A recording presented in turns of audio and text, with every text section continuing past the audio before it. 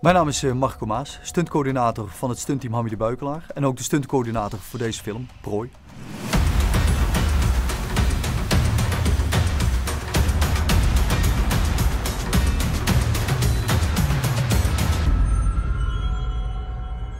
De stunt met de scooter, de achtervolgingen waarbij we de leeuw uh, uiteindelijk de scooterrijder te pakken zien nemen. We hebben natuurlijk veel gedraaid met de acteur zelf, maar de uiteindelijke laydown, dus de crash met de scooter waarbij hij onder de slagboom doorglijdt en naar buiten, dat is gedaan door een stuntman. We hebben hem eerst onderuit laten glijden uit de parkeergarage de straat op.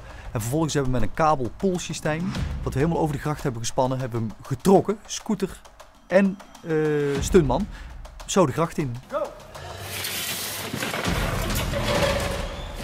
We halen mogelijke obstakels weg. Er zaten bijvoorbeeld hele diepe gleuven uh, in de overgang van de uh, parkeergarage naar de straat. En dat zijn natuurlijk echte, echte enkelbrekers. Nou, die vullen we dan bijvoorbeeld uit met in dit geval uh, zand. Voldoende beschermers aan voor de stuntman. En voor de drop in het water zorgen we ervoor dat... Hij zit natuurlijk aan een kabel hè, waarmee we hem slepen. Hij moet niet verstrikt raken. Hij zit weer op een quick release. Mocht hij verstrikt raken, kan hij zichzelf lostrekken in het water. Duiker erbij. Die duiker heeft ook bodemonderzoek gedaan. Is het diep genoeg? Staat er niet nog een, een fietsrecht op waar hij zich aan kan baseren? Nou, en als je dan al die dingen inzichtelijk hebt, ja, dan is het een kwestie van doen. Steady by. The screen is safe. Everything is safe. Concentrate.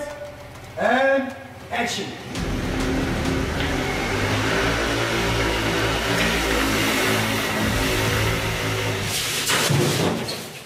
Marker komt altijd met ideeën en, en, en, oplossingen. En daar zijn ze vaak ook voor. Want vaak uh, wil je iets hebben in je film. En uh, ja, ja, weet je, dan probeer ik zelf altijd eerst uit te vinden hoe, zou, hoe, hoe kan ik dat verwezenlijken.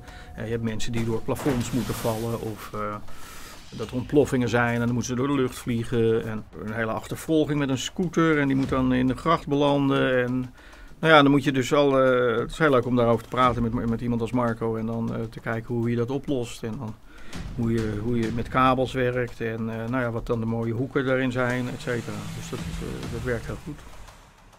Waar je heel goed op moet letten als uh, stuntcoördinator of als stuntman is natuurlijk uitvoerbaarheid. Dat alles wel binnen het plaatje past. Kijk, het is maatwerk. Hè? Dick vraagt natuurlijk niet, ja doe maar wat. Hij zegt, dit is wat ik wil zien en zo bouw ik de shots op. En dan probeer je maatwerk te leveren met de snelheid, het insnijden van de shots, de plek waar die onderuit gaat, de afstanden. Ondergrond, valdiepte, veiligheid in het water. Ja, daar komt heel wat bij kijken.